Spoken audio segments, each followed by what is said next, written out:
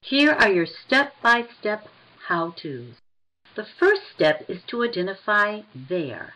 There is your desired state, the level of performance and the conditions to which you are willing to commit your actions and willing to commit your intentions to make reality. This is your first step in the brainstorming process. You'll use the sticky note mind mapping pieces that come in your toolkit to identify what your there looks like as it pertains to performance and productivity, the culture and environment you desire, partnerships and relationships that leverage your outcomes, and the level of profitability or measurables based on your type of organization.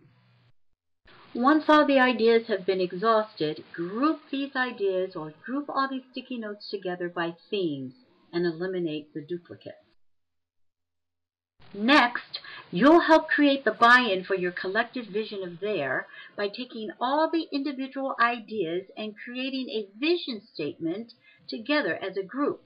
Write it in the present tense as if it already is.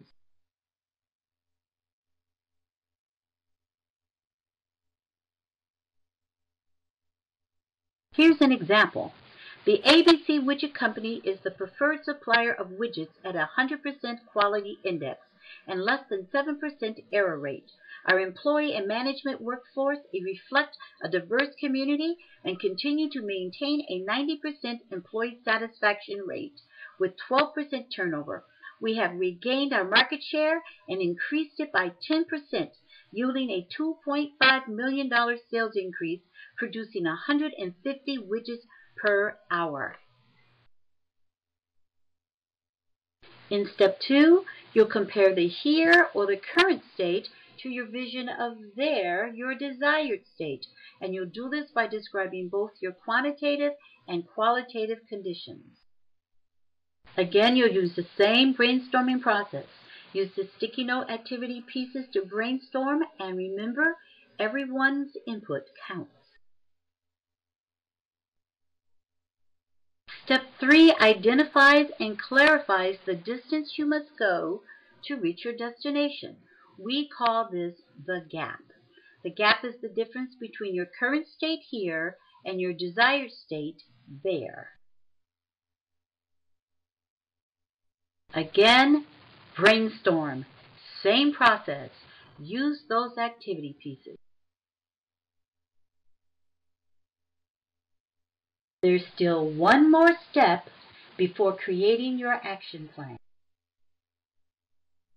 Step number four, identify the potential roadblocks. The potential roadblocks are obstacles of any kind that may make it difficult or may stand in the way of you reaching your desired state of there, and that includes people, systems, money, resources, values, attitudes, and so forth. So before you can brainstorm the hows, brainstorm your mechanisms, it's important to know what could get in the way and then plan for it.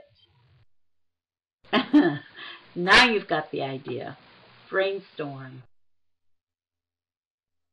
Once that's done, finally you'll be ready for the hows or the mechanisms that will take you on the journey to your target there.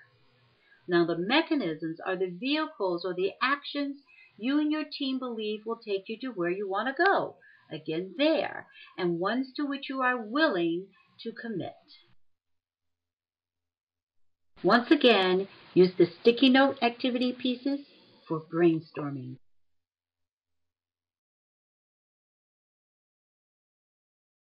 Okay, a quick review. Step one, describe your there. Step 2. Describe the current state. Step 3. Identify the gap. Step 4. Identify your potential roadblocks. And step 5. Brainstorm your mechanisms to get you there. Then, of course, seal the deal by finalizing your plan.